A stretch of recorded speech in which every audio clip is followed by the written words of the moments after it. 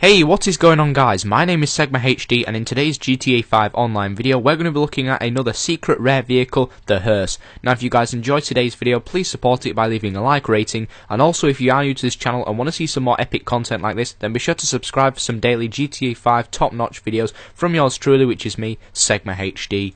So the hearse vehicle is actually found at the Hill Valley Church, just where the Pacific Bluffs are. And what a hearse car is, it's basically a funeral car that you find at a funeral. It's got the body's casket in the back of the van. So you'll notice that this is the location of the hearse car of where it's located. It's at the Pacific Bluffs near where the highway is leading to the beach. And this is where you can find it at this little white church right here. And here's a little bit of a look, would you want to say, look at it. It looks really nice, nice car. You can give it a few mods at Los Santos Customs.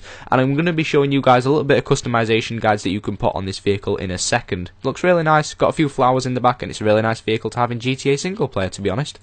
Now, surprisingly, the hearse has a few mods you can put on it and the Los Santos Customs. Not too many additional things, just like armor, brakes, suspensions, all you need little stuff like that. And also, you can give it a nice paint job while you're at it. In the end, I decided to use chrome because it looked sick with that paint job on.